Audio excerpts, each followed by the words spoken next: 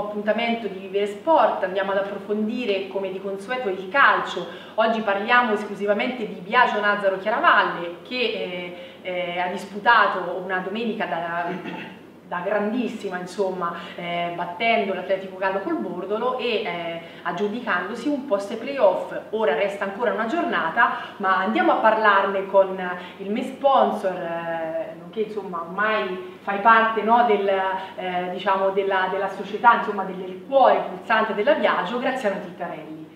Eh, allora, una, una, domenica strepitosa non solo dal punto di vista diciamo, della, del, del, campionato, ma anche per quello che è il settore giovanile della Viaggio, giusto? Quindi sì. direi di cominciare eh, ecco, da questa gran festa che è stata domenica. Sì, è stata veramente una bella giornata. Il tempo è stato dalla nostra parte, con un bellissimo sole abbiamo cominciato verso le due circa con delle partite del settore giovanile e a fine primo tempo una sfilata di tutti i giocatori con gli allenatori, è stata veramente una bella festa che poi è stata, la ciliegina sulla torta è stato anche il risultato della partita. Infatti un, un 3-1 rifidato appunto all'Atletico Gallo eh, serviva fare punti, lo avevamo detto già una settimana fa assieme al direttore sportivo e questi punti sono arrivati. Sì, era fondamentale vincere, poi abbiamo avuto anche diciamo, la fortuna che la Vigor Senigallia ha battuto il Porto d'Ascoli, così abbiamo scavalcato anche il Porto d'Ascoli ed ora siamo al quarto posto. Quindi in questo momento siamo nei playoff. Ecco, ehm, ecco, hai nominato la Vigor Senigallia, effettivamente una società che eh, tra l'altro aveva diramato un comunicato stampa proprio una settimana fa eh, invitando eh, alla calma, no? perché comunque eh, a, non, a, non, essere troppo tragici, nonostante insomma, sia ormai retrocessa, no? quindi ormai, ormai, è condannata, insomma, quindi eh, poteva magari lasciare, no? oppure sfilacciarsi un po', e invece ha mostrato insomma, di, di avere eh, insomma, anche lì un cuore batte ancora, no? Sì, Quindi... io credo che stiano, stiano facendo un bel progetto perché hanno valorizzato molti giovani, purtroppo non sono riusciti a salvarsi, però la squadra ha combattuto sempre tutte le domeniche, l'allenatore ha messo sempre bene in campo, la squadra ha giocato sempre un buon calcio, dopo purtroppo i punti non sono arrivati anche perché tanto delle mancanze tecniche c'erano, di esperienza soprattutto, perché anche la partita che abbiamo disputato noi a Senigallia abbiamo vinto ma devo dire a rammarico nostro non meritavamo proprio tutta la vittoria, loro hanno giocato un buon calcio andando vicino al gol più volte e purtroppo dopo il calcio è fatto di anche risultati. Ah, di risultati a volte insomma anche sfortunati, no? Sfortunati, sì. eh, anche la Biagio insomma in questa stagione ha avuto dei risultati sfortunati, no? Noi abbiamo purtroppo sofferto molte, molti infortuni, eh, Santoni secondo me è un ragazzo fondamentale nella nostra struttura calcistica, quindi abbiamo avuto pochissime partite, Diego Rossini l'abbiamo avuto assente per 4-5 mesi, Cavaliere è stato assente anche lui per infortunio, ci abbiamo avuto diverse sfortune. Comunque il nostro campionato siamo molto soddisfatti di quello che stanno facendo i ragazzi e lo staff tecnico. Ecco, e poi c'è tutto un lavoro dietro, insomma, che, che, è iniziato un po', insomma, quando sei arrivato tu, no? Hai portato una ventata di eh, diciamo, di anche colore. Di, di, colore ma anche di, professionalità, no? perché insomma, attraverso l'attività la, che tu svolgi quotidianamente, quindi nel tuo lavoro, eh, hai riorganizzato insomma, qualche aspetto che andava rivisto, no? come la comunicazione e poi tra l'altro da quest'anno insomma, la Piaggio anche un inno cantato da te. Sì.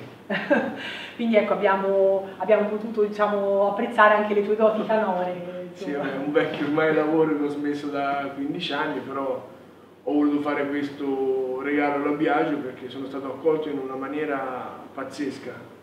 E in società ho trovato dei ragazzi veramente fantastici, dal presidente Parasecoli al vicepresidente Tonti, a, a, tutti coloro che stanno intorno alla Biagio.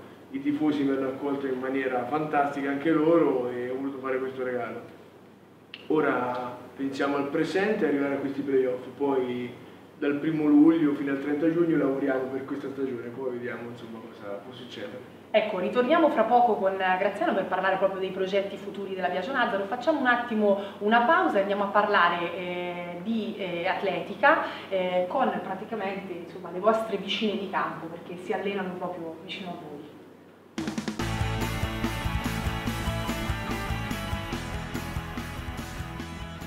Bene, oggi abbiamo il piacere eh, di avere eh, ospiti in trasmissione eh, le ragazze dell'Atletica Chiaravalle accompagnate da eh, Massimo Pistoni che fa le veci del, del, papà. del papà che eh, insomma non è intervenuto ma eh, ci faremo sicuramente raccontare bene insomma, questa, questa, realtà anche da lui che comunque in qualche maniera ne fa parte e poi ecco ci sono le ragazze che andiamo a presentare eh, Noemi Dolciotti, Aurora Olivetti, Caterina Stimilli, Silvia Moretti queste ragazze sono, eh, sono, eh, sono speciali, hanno raggiunto insomma, un traguardo molto importante e ce lo facciamo raccontare eh, prima da Massimo e poi da loro Bene, ciao Cristina, buonasera a tutti ma tanto per cominciare porto i saluti di mio padre che lui è restio alle telecamere e quindi mi ha detto Massimo vai tu perché non voglio averne a che fare. Quindi stiamo parlando di quattro ragazze d'oro, nel senso che hanno ottenuto la migliore prestazione regionale all time eh, nella 4x200 indoor e la migliore prestazione nazionale stagionale nella stessa distanza.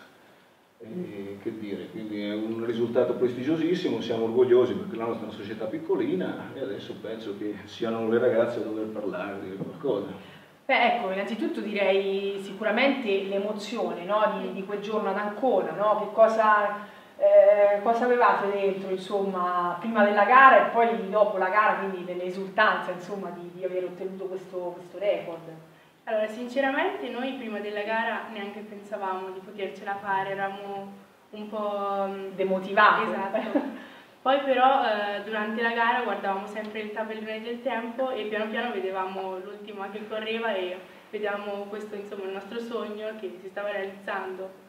Quindi insomma strada facendo no? avete raggiunto questa, diciamo, questo, questo record, ecco sicuramente insomma eh, poi dopo siete scoppiate di gioia. Sì eh, immagino. Ecco, dietro c'è, c'è un gran lavoro, no? dietro, dietro, questi risultati, perché insomma il vostro tecnico, no? Mario Pistoni, vi segue eh, quotidianamente negli allenamenti, insomma, e che consigli vi dà di solito? Allora, è tu. ehm, vi, vi, dice, allora, vi, dice, cosa dovete fare sicuramente, insomma, gli allenamenti, poi ecco, vi dà qualche suggerimento in più, visto che lui insomma è, è una persona insomma, a livello sportivo insomma, molto importante, quindi sicuramente un punto di riferimento, no? è un pregio avere insomma, una persona così che vi possa seguire. Ecco. Diciamo che è severo, dai, diciamo. quindi voglio dire, in quell'ora, l'ora e mezza che si lavora vuole, vuole, vuole risultati. Una certa, una certa serietà, quindi piace anche parlare, chiacchierare, a un certo punto dice stop. Ma eh, volevo sottolineare sì. eh, proprio la, la, differenza di visione dell'ottica dello sport tra le ragazzine e mio papà. Loro, mh, mm, Caterina ha detto che non ci speravano nel risultato, invece mio padre eh, sapeva già da prima, ma non è una presunzione, aveva studiato in minimi particolari la cosa, tant'è vero che eh, la settimana prima quasi avevano sfiorato questo, questo, risultato e lui ha chiesto alla federazione la possibilità di gareggiare durante eh, i campionati italiani paralimpici dove questa gara non era inserita. La federazione ha accettato perché comunque aveva anche la, la federazione annusato che poteva essere una buona cosa e poi è venuta fuori, è venuta fuori la, la gara. Quindi diciamo che era nell'aria. Era nell'aria. Ecco, lui ci credeva tantissimo, eh, loro insomma no, forse proprio perché lo avevate sfiorato una volta ma non lo avevate raggiunto, non eravate un po' per quello, forse un po' spiazzate, però insomma il risultato è arrivato. Ecco, voi nella vita cosa fate? Studiate? Immagino che andate tutta a scuola, che scuola? Io il liceo classico Senigallia. Io il linguistico Guaiesi. Io il linguistico Iesi. Io lo scientifico Falconara. Ecco, quindi insomma eh, siete delle studentesse e come conciliate l'allenamento con, con eh, lo studio, quindi insomma gli impegni che siate tutte liceo, quindi sappiamo che insomma no, l'impegno ce n'è. Um, diciamo che a volte è molto difficile perché comunque l'allenamento occupa gran parte del pomeriggio e studiare a volte risulta complicato, infatti bisogna fare almeno per me le ore piccole, studio anche alla sera, però diciamo che um, i risultati anche sia nell'atletica sia a scuola però ora ci sono, quindi... Quindi vuol dire insomma, che, che riesci, a conciliare bene, no? riuscite insomma, a fare entrambe le cose.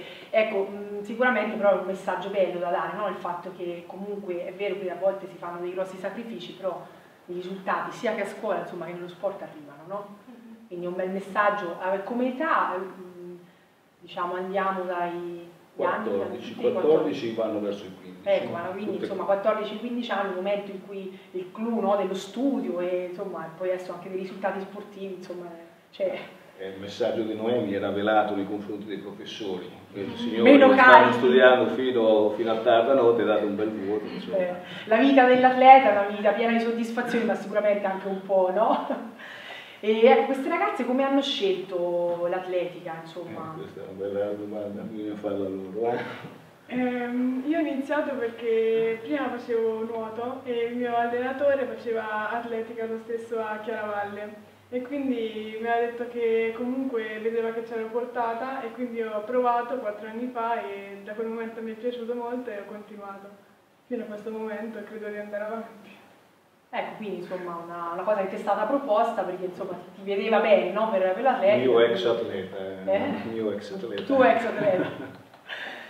Bene, ehm, parliamo un attimino della, di, questa, di, questa, realtà, no? dell'atletica chiaravallese. Ehm, insomma, se ci dai qualche informazione, eh, quanti siete, insomma, le, le categorie, quello che, sì, quello che, si fa insomma, quotidianamente a casa vostra. Ecco. Fondata nel 74, quindi oltre 40 anni fa da mio padre, per gioco, e poi insomma, ha preso, ha preso un'area un completamente differente. Cioè, continuiamo a giocare, però giochiamo con, con, con più vigore, con degli obiettivi.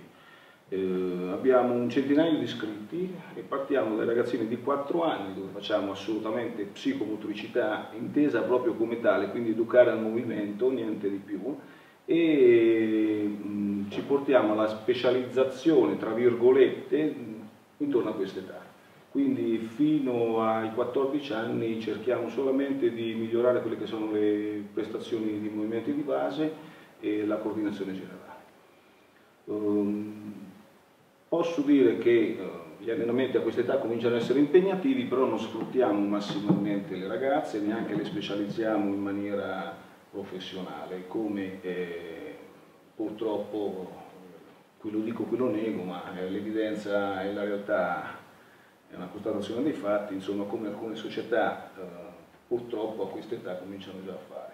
Quindi cerchiamo di divertirsi noi finché si può, poi i risultati se vengono arriveranno, tutto qui. Ecco, adesso quali sono i prossimi impegni di queste ragazze? Se ne avete insomma sì, la, la, stagione, la stagione all'aperto è cominciata ieri. E a Fermo abbiamo fatto delle staffette della 4%, questo, in questo caso, tra l'altro hanno vinto, eh, eh, hanno vinto ma sono state squalificate perché l'hanno presa lunga, il cambio l'hanno preso lungo e quindi sono andate fuori fuori zona e quindi hanno perso una bella medaglia d'oro. Ci rifaremo la prossima settimana perché ci sono i campionati di società, la prima fase a Monte Cassiano, sperando di non andare fuori zona e quindi... Poi abbiamo anche maschietti quest'anno, sempre 14 anni, perché i maschi sono più dirottati verso il basket o verso il calcio, e siamo riusciti a mettere su una squadretta dignitosa. Che infatti domenica Fermo comunque ha già fatto un primo risultato, Esattamente, no? siamo arrivati quarti con un tempo cadenti, no? discreto e quindi c'è solo da migliorare e, da divertirsi. Bene, quindi quali, insomma, tuo padre vi ha parlato un po' no, dei prossimi, insomma, gli obiettivi che vi siete un po' sì, a questa, questa, stagione e poi insomma a lungo termine. Mm, gli obiettivi nel settore giovanile sono limitati, ai campionati regionali, quindi attività all'interno della regione, qualche, qualche toccatina fuori per annusare un'area diversa e dove c'è la possibilità di inserire le ragazze o i ragazzi nella rappresentativa regionale, perché mh, mm, ti dà la possibilità di vivere esperienze anche extraregionali con diciamo, l'elite, se possiamo parlare di elite, di questa categoria. Ecco, quindi sicuramente insomma, sarebbe una, no? un traguardo in più, no? una chiamata no? che certo. sicuramente fa piacere, da prestigio insomma, a quello che è la vostra fatica nel condurre insomma, ogni giorno insomma, gli allenamenti. E mi permetto di dire a chi ascolterà, soprattutto a coloro che sono intenzionati a sponsorizzare, che nell'atletica a livello giovanile i ragazzini vengono seguiti da papà e mamme ed è itinerante, cioè non si, non si gareggia, non si gioca solo in un punto. Ed ogni volta gli stadi sono pieni di 2-3 mila persone come era ieri. A... Quindi se avete intenzione di fare qualche manifesto itinerante, l'atletica può essere un bel un, un, bel veicolo, un bel veicolo insomma, cioè, sicuramente ecco, proprio perché c'è un bel seguito anche delle certo, famiglie certo, no? certo. Che, che, seguono loro e dove parenti, amici, quindi sicuramente insomma sì, i palazzetti c'è, un, anche... concetto strano ancora di questo sponsor, vedere i manifesti sempre fermi, sempre in un punto e invece portarseli dietro a livello regionale, a livello, regionale, no? a livello provinciale. Quindi sicuramente insomma, pensate bella, è una bella, insomma, una bella, potrebbe essere una bella piazza investire eh, certo, nell'atletica certo. chiaravallese, ecco. Bene, e non solo. E non eh, solo.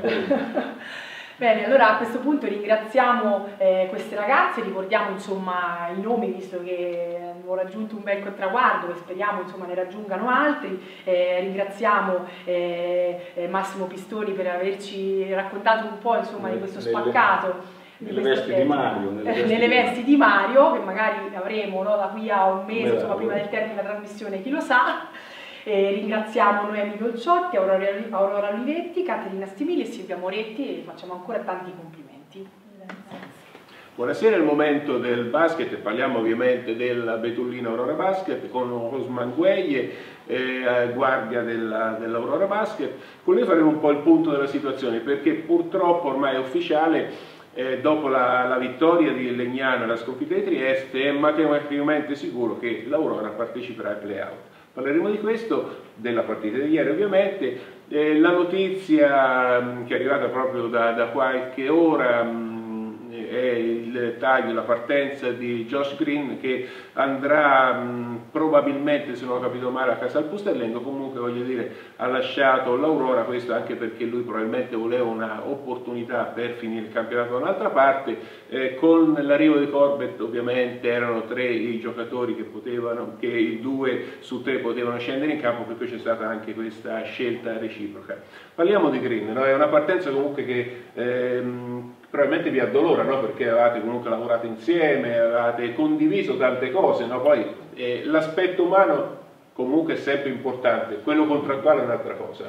Quindi ecco, ehm, cosa ci puoi dire di questa partenza di, di, di Josh? Beh, innanzitutto ringraziamo Green per quello che ha dato fino adesso perché è stato un giocatore che in ogni partita e in ogni momento ha sempre dato tutto, il cuore, ha sempre buttato anzi il cuore oltre l'ostacolo. È un ragazzo eccezionale sia dal punto di vista cestistico che soprattutto umano. E la scelta di andare a casa al Pusterlengo non è dipeso al 100% da lui perché lui non è un, un giocatore che io ci ho legato molto mi ha detto che non gli addolora proprio mollarci in questo momento qua di difficoltà, però alla fine il basket è anche così, cioè ci sono delle scelte che non dipendono sempre da noi giocatori e fa parte del nostro lavoro rispettarle e andare avanti.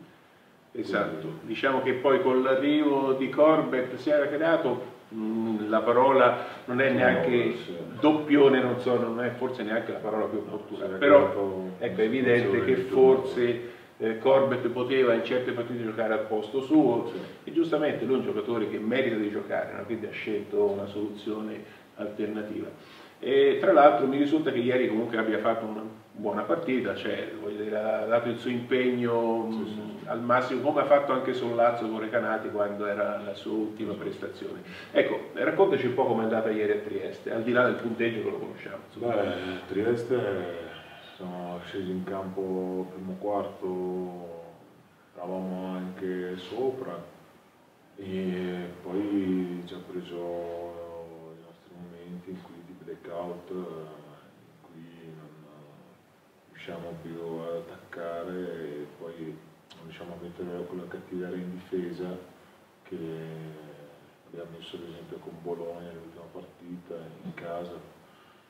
E, insomma c'è poco da dire quando perdi una partita di 19, c'è poco da dire, c'è da pensare andare avanti. E, accantonare questa partita, però rimane la rabbia perché veramente siamo in una situazione in cui dovremmo un attimo iniziare a tirare fuori la rabbia che ci vuole per vincere il play-out, il play-out non si vince con, con i canestri, le bombe, si vince in difesa, si vince in difesa, si vince con la cattiveria, si vince, chi, chi ha più voglia di vincere la porta a casa, non vince spesso la squadra più forte con i nomi o con più talento, vince la squadra che ha più voglia di vincere.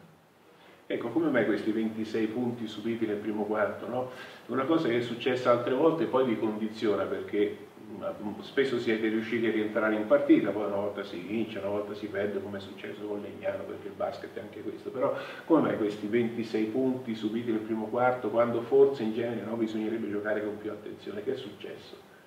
Certo, 25-26 punti subiti in un quarto è una media troppo alta per una squadra come la nostra che dovrebbe puntare tutto sulla difesa. Una media di 100 punti a partita non è accettabile, quindi perché sicuramente mancanza di attenzione in particolari che alleniamo durante la settimana o confusione in difesa o mancanza di, di eh, responsabilità individuale nei confronti dei propri uomini.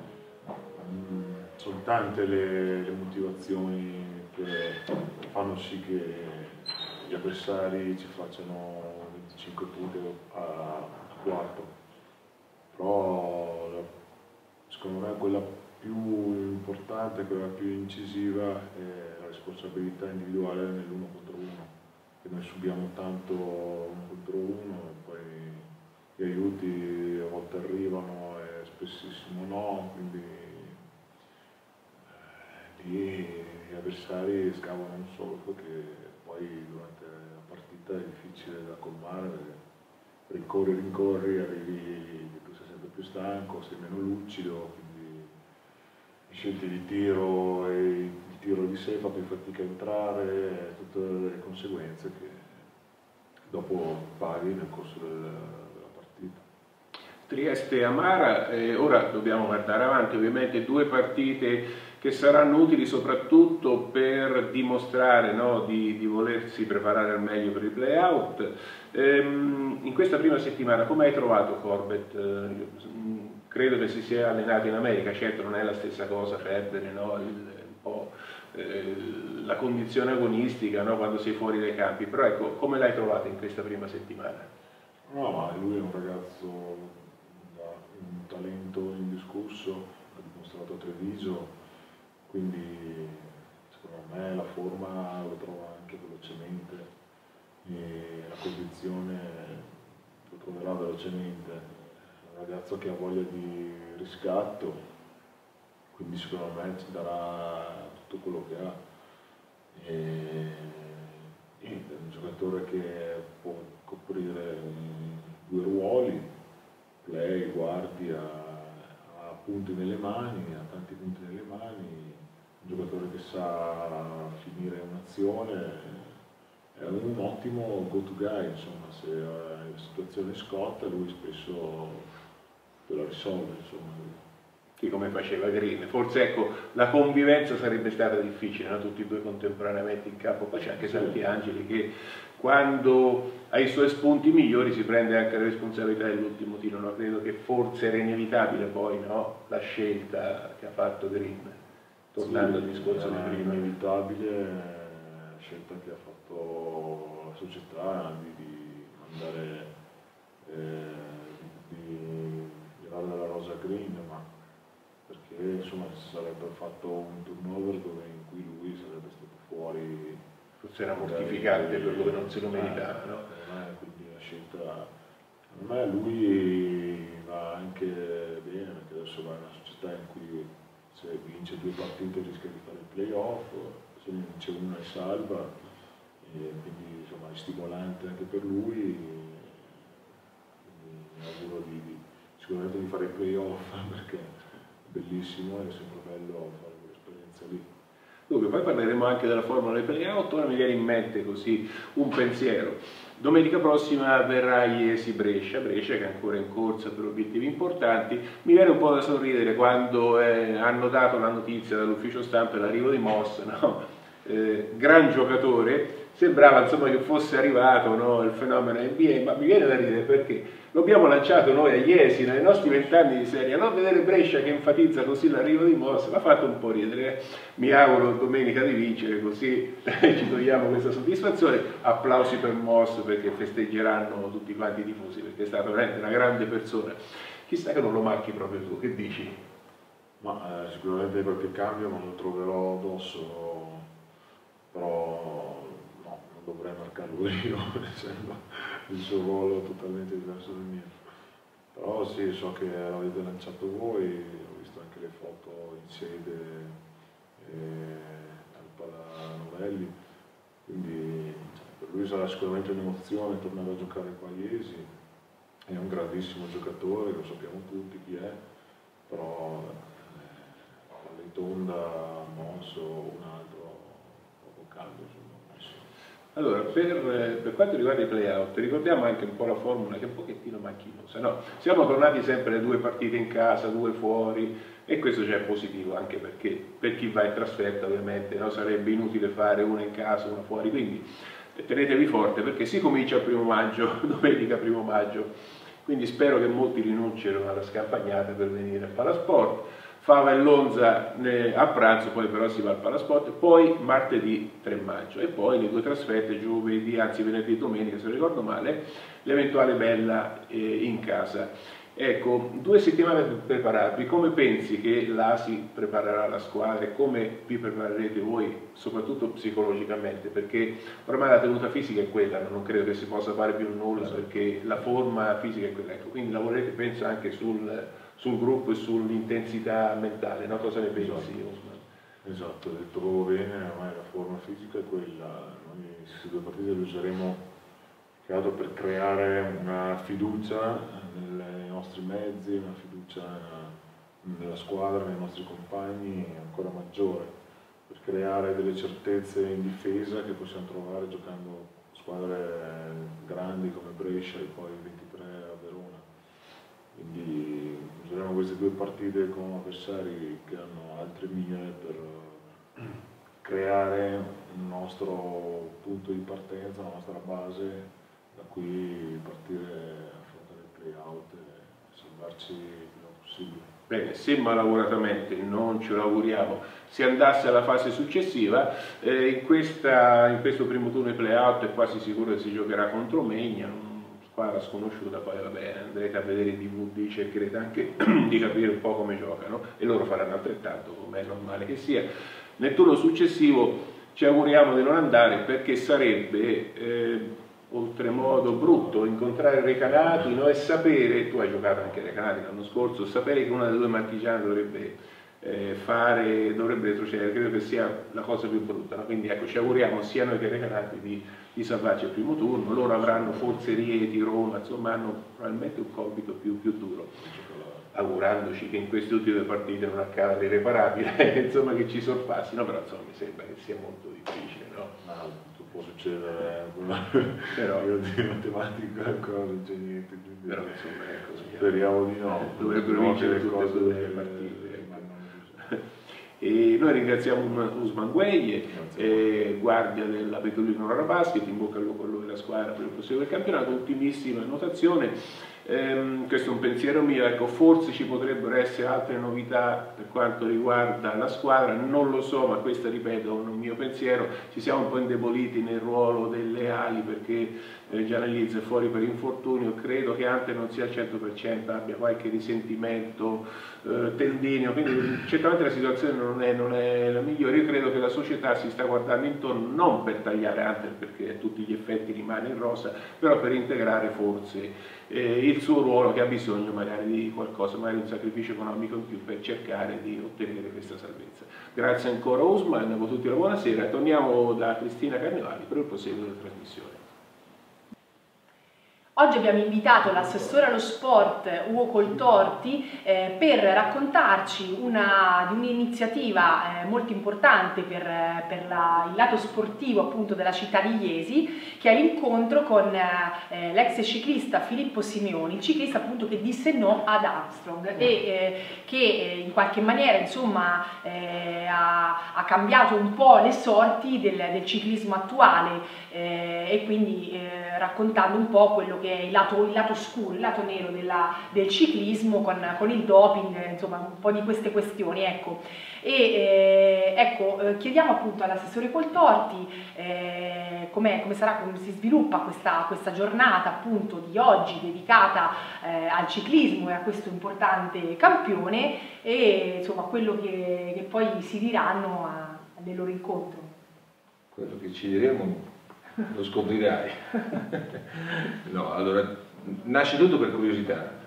Eh, ho scoperto che la curiosità fa parte, è quella cosa che serve per, per migliorare e per far conoscere tantissime cose. La curiosità è, nata dal, dal, fatto che leggendo l'inserto della Gazzetta Lo Sport ho scoperto che Filippo Simeoni, che è, che è, diventato famoso perché è quel ciclista che è riuscito a dire no ad Armstrong, per cui è il personaggio in questo ultimo periodo è stato il personaggio è uscito anche il film, per cui è stato il personaggio più importante sportivamente perché dopo sette tour vinti ci siamo stati tolti per evidenti eh, vinti, eh, esatto, diciamo vinti in maniera non corretta, ecco. Esattamente, che non proprio, non eh. proprio eh, quello che amiamo noi dello sport, o perlomeno quello che abbiamo sempre noi creduto, quelli che credono nello sport, non è proprio questi messaggi che vorremmo avere e ricevere tutti i giorni però leggendo nell'articolo ho scoperto, non sapendolo, che Filippo Simeoni ha iniziato la carriera a Iesi e qui è, è scattata la molla dell'orgoglio iesino.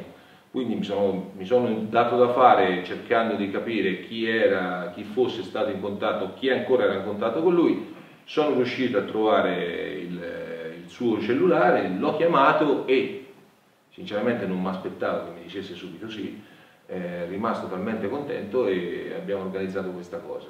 Stamattina andremo al liceo scientifico perché liceo, è il secondo anno del liceo sportivo per cui pensa, penso eh, che sia una cosa ad hoc perché il liceo sportivo proprio è l'ambito in cui ci, ci, stiamo, ci stiamo muovendo in questo momento e Filippo è stato molto contento anche perché ho scoperto che lui lo fa normalmente, va in giro per le scuole a raccontare la sua esperienza la sua esperienza che è legata al mondo del ciclismo, ma anche al mondo del ciclismo un po' occulto, quello che, eh, che magari qualcuno capisce o percepisce e poi magari viene smentito quotidianamente. Però è un bel mondo perché il ciclismo come sport è fantastico, lo faccio anch'io, Infatti sì, ma pratichi, pratichi il ciclismo, Va, anche il nostro assessore, no? Vado in bici perché... Oltre alla bicicletta elettrica, quella che usate no, quella, quella è... in comune per gli spostamenti, però insomma anche diciamo, il ciclismo vero, ecco. Sì, perché è l'unico sport insieme allo sci che riesco a fare perché il ginocchio mi, non, non, creo, non creo problemi ulteriori al mio ginocchio andando in bici oppure sciando perché sto con le gambe un po' rattrappite e quindi riesco, riesco a muovermi. Però il ciclismo, eh, il ciclismo vero, che è quello che ci racconterà Filippo, con tutte le sue sfaccettature. Credo che sia una cosa interessante da, da ascoltare. Poi questa sera al Circolo Cittadino alle 6 eh, invece è aperta una riunione aperta a tutti, a tutti gli appassionati di ciclismo. Ci sarà il presidente della federazione ciclistica del, del, della regione Marche, eh, probabilmente verrà il delegato del CONI regionale Fabio Luna, che se riesce a liberarsi dall'impegno istituzionale sarà con noi. Avremo la, il piacere di riabbracciare Alfiero Latini, che è stato il patron della SIC, ma non è solo stato il patron della SIC come presidente della, è stato della, della, della squadra di ciclismo che all'epoca ha ha fatto storia. Ma Alfiero Latini rappresenta, e questo sono contento che, della, della sua presenza, rappresenta l'imprenditore che è stato uno dei pochi imprenditori che è stato veramente vicino al mondo dello sport, perché lui è stato vicino al calcio, è stato vicino alla pallacanestro, è stato vicino al ciclismo e non solo, e questo mi fa piacere che, della sua presenza che è importante. Bene, allora eh, ricordiamo appunto eh, l'appuntamento insomma, eh, terminato l'impegno mattutino eh, alle ore 18 presso la sala del lampadario del Circolo Cittadino, dove sarà presente chiaramente anche l'assessore Ugo Coltorti, e eh, insomma, per, per, ascoltare questa, questa, grande, strepitosa storia insomma, di un altro sportivo che non è di Iesi, ma che comunque un po' di iesinità, di DNA ce l'ha. Rieccoci quindi a parlare di, di Biagio Nazzaro con Graziano Tittarelli, eh, vi attende l'ultima giornata di campionato e, e, diciamo che insomma fino alla fine si dovrà fare i conti un po' con il vostro, con il vostro risultato ma anche con il risultato insomma, degli altri. No? Eh, quindi eh, la Biagio va a Grotta a Mare, eh, un campo sicuramente non, insomma, non facile, no? Eh, però ecco l'obiettivo sarà anche questa volta fare risultato, no? Sì, sicuramente noi andiamo giù per prendere i tre punti, i tre punti che ci garantiscono i playoff, quindi la squadra sta lavorando da oggi a, questo obiettivo e l'importante è andare giù carichi come siamo stati domenica e secondo me porteremo a casa un buon risultato. Ecco, e guardando proprio al risultato, no, dovreste, sicuramente cercherete no, di evitare l'aggancio della Pergolese perché eh, insomma, con, con, la Pergolese insomma, gli scontri diretti eh, da esatto, sono sfavorevoli per voi, quindi ecco, quello che, che, si dovrà evitare è proprio quello, no? No, fondamentalmente dipende tutto da noi. Noi dobbiamo fare i tre punti e dopo il risultato degli altri si vedrà. Si vedrà. quindi insomma sarà, ecco, terminerete diciamo, la fase regolare insomma, a Grotta Mare, sicuramente avrete un, un buon seguito di pubblico Speriamo, mai, sono stati sempre vicini, quindi sicuramente ci saranno, saranno presenti anche domenica a Grotta Mare. Bene, allora eh, per questa, questa, giornata è tutto e facciamo un in bocca al lupo alla Biagio Nazaro per quest'ultima giornata, ci vediamo la prossima settimana.